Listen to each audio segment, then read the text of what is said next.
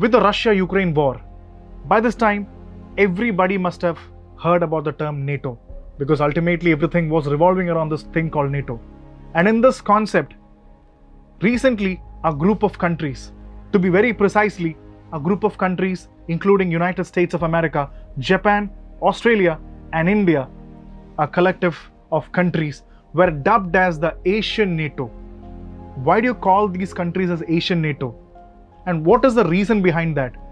And basically, what is the reason which connects all these countries?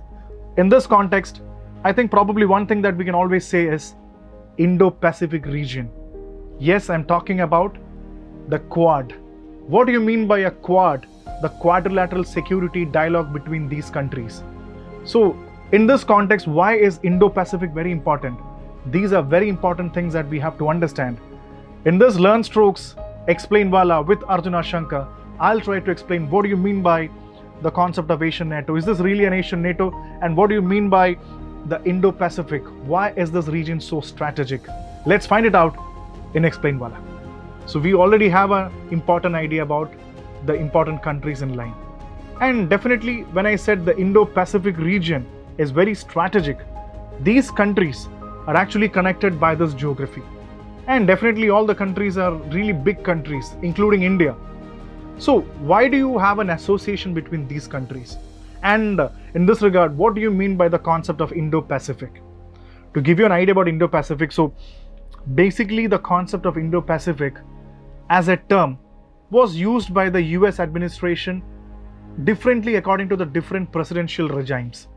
It was not the same under the Trump's administration, it was not the same under the Obama administration, and not same in the Biden administration. So everything, the word Indo-Pacific, how they see it is absolutely different in different periods.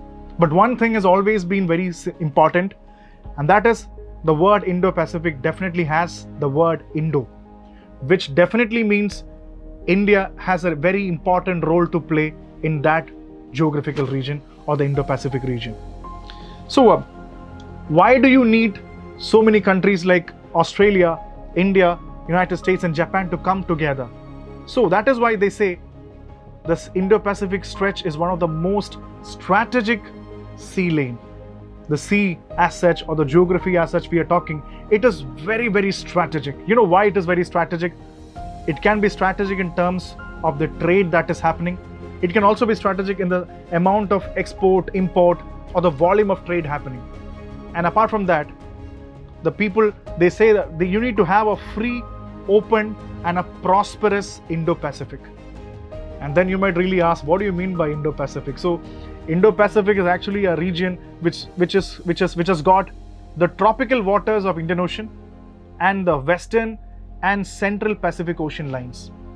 So this is the region. You can simply see this region in this picture. And uh, what is the history of this? And I said a lot of countries are actually coming forward. There should be a history for this. And I would say Japan took an important initiative in this regard. Previously in 2007, when the Japanese Prime Minister took a lot of initiative, there was something called as an Asian Democratic Security Diamond. Uh, that sounds a bit Asian Security, Asian Democratic Security Diamond. And all the countries that we discuss are well connected. And even before that, the history goes back to the tsunami time, 2004, when the whole of the region was run amok by a tsunami. India took a very lead role in including solving the problems of neighborhood as well as the geographical region. But after 2007, these countries came together. So Australia, India, Japan, and United States of America came together. But after some time, you know, Australia simply went out of the league. But later, after a few years, Australia again joined back. But the real question now arises. I told you what is the history of this Indo Pacific and why Indo Pacific is very important and strategic. Apart from that, why is this association even existing? That is a big question that we need to understand. Here comes the most important reason, perhaps the dominant China. China is very, very dominant here. And you know, whenever there is a country which is actually going up really high, you know, America is indeed a big superpower. And one of the other countries that is rising to that level is probably China. Whether you take it in terms of the trade, arms, volume of anything, China is definitely a superpower.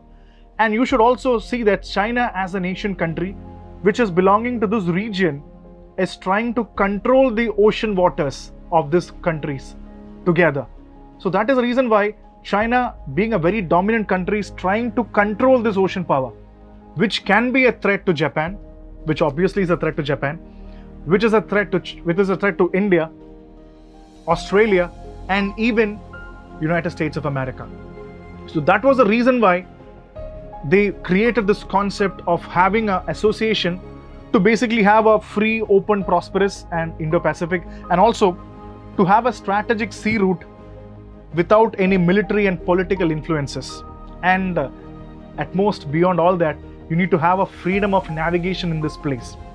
So, in one sense, you can say that the whole association is actually a collective to garner or keep in control the dominant China in picture.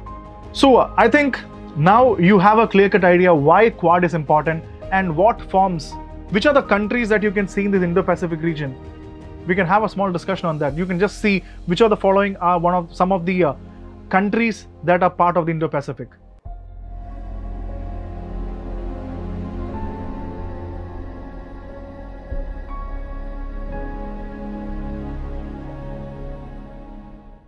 So these are the countries, some of the countries which are part of this Indo-Pacific region. So it's very important to know which are the countries involved in this. So now you know why there is a Quad, which are the countries that formulates or combines the Quad system. What are the challenges that they have? They have a big challenge called a rising dominant China. And why this is a strategic region, Indo-Pacific, as I said, for every uh, governments in US, that has been a very strategic important. And it is even said that they had almost 1.9 trillion of trade export import happening in this region. That is huge. So that is the reason why everybody is so importantly talking about the quad region. And india is also a great part of this.